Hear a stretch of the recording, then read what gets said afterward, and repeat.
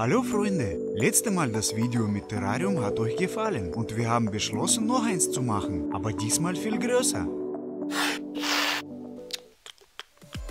Wir werden eine Glasdose brauchen, 1 bis 3 Liter groß. Nehmen ein mittleres Karton mit und gehen in den Wald, wo als erstes finden wir etwas Erde für unsere Idee.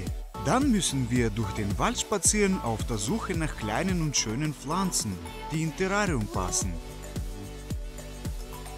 Plötzlich stießen wir auf ein Holz mit Ameisenkolonie und haben beschlossen, es mitzunehmen.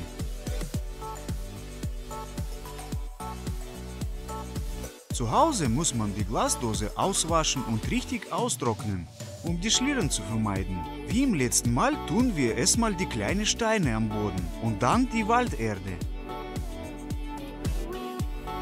Dann musst du die Fantasie einschalten und die Pflanzen ordnen, so wie dir gefällt. In unserem Fall den Prozess hat ein Profi-Designer kontrolliert. Ab und zu muss man die Pflanzen mit Wasser besprühen, sonst trocknen sie aus. Als nächstes sind die Ameisen mit ihrem Haus eingezogen.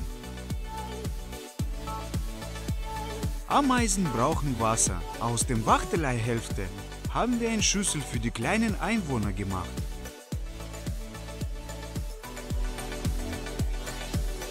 Ich habe im Internet gelesen, dass die Ameisen Fleisch und Zucker mögen. Sie haben es auf jeden Fall genossen.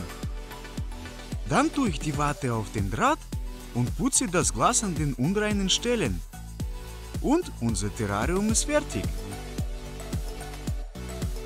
Auch wenn man Mühe gibt, funktioniert es mit ganz normaler Gurkenglasdose. Den Ameisen ihr neues Zuhause hat gefallen und außer ihnen gab es viele verschiedene Lebenswesen. Werden sie mit den anderen zusammen auskommen, wird sich zeigen. Wenn du am Leben des Terrariums interessiert bist, solltest du unser Kanal im Auge behalten.